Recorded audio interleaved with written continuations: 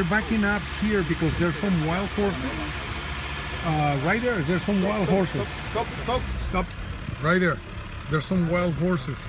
Those were never domesticated. They came from Mongolia, and um, they came in from Mongolia, and they live here in the preservation. They're called preservation horses, but they're basically wild horses. They're wild horses and, um, and they live here in the preservation.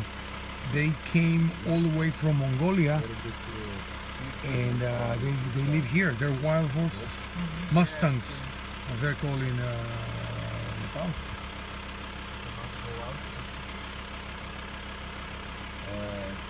If we go- You can see those signs, radiation everywhere. say,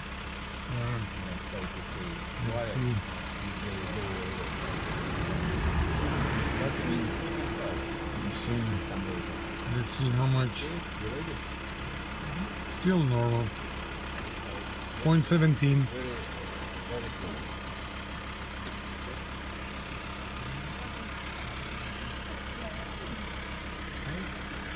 Oh. Sorry. It's alright, no worries.